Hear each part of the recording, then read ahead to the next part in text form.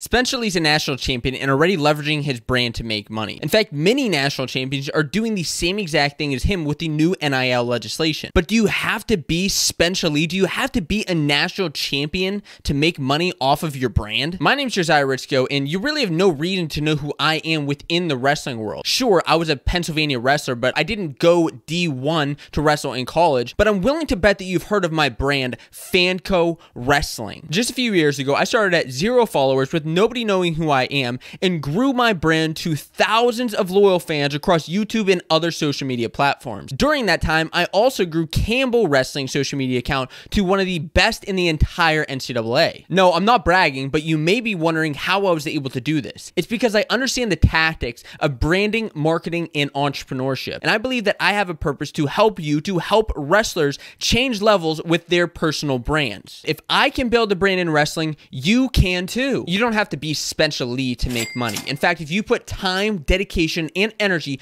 into your craft, I'm willing to bet that somebody will want to learn something from you. If you're a D1 wrestler, even if you're a backup, I bet you you have a skill set that got you to that point that somebody younger from you will be willing to learn from. Or maybe if you're a D2 or D3 wrestler, maybe you're great at storytelling like Caden Henschel and can build your own YouTube or Rokfin channel off of that story. The point is this, there are ways for you to start making money as a wrestler, and I want to help you change levels with your personal brand. If this is something that interests you and excites you as much as it excites me, then I recommend that you follow Fanco Media on Rokfin, where I'll be sharing articles, videos, and podcasts all about branding specifically for wrestlers. So stop stalling and get to work.